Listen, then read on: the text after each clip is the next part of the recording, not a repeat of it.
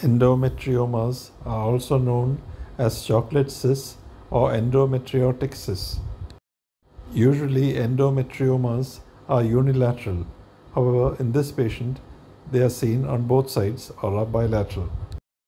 This patient had pelvic pain and dysmenorrhea.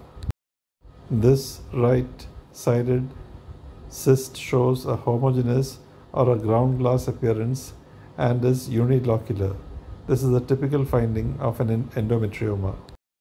Malignancy within an endometrioma is extremely rare. However, as in this case, bilateral endometriomas can be very painful and produce multiple symptoms including severe dysmenorrhea.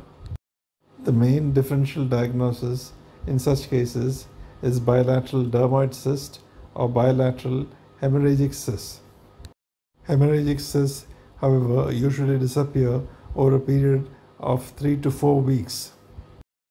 Dermoid cysts are usually not painful and do not produce dysmenorrhea. Color Doppler in this endometrioma does not show significant internal or peripheral vascularity. Final diagnosis in this patient is bilateral endometrioma. The homogeneous ground glass appearance of an endometrioma is a diagnostic feature of this condition.